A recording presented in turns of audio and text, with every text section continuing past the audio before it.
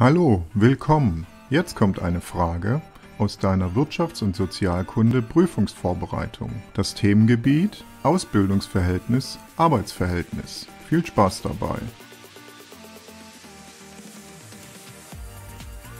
Okay, und hier zur Frage im Themengebiet Ausbildung und Arbeitsverhältnis. Wer unterliegt nicht dem Jugendarbeitsschutzgesetz?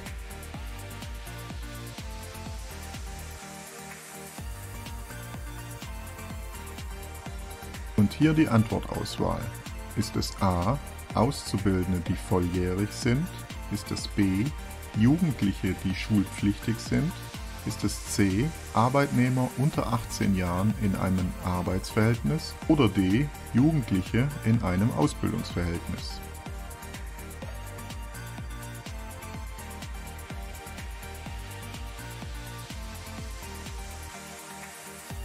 Und hier die Lösung.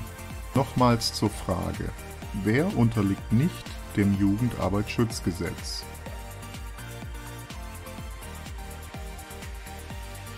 Antwort A. Auszubildende, die volljährig sind.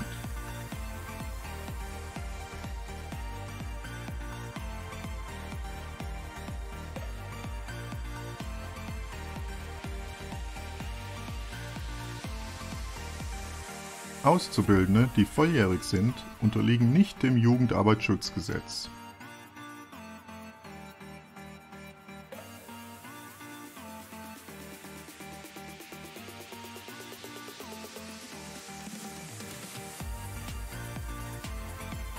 Ich hoffe, das Video konnte dir einen Lernerfolg bringen. Lass gerne ein Like oder Kommentar da. Abonniere meinen Kanal, damit du keine neuen Lernvideos verpasst. Bis bald, dein Online-Ausbilder.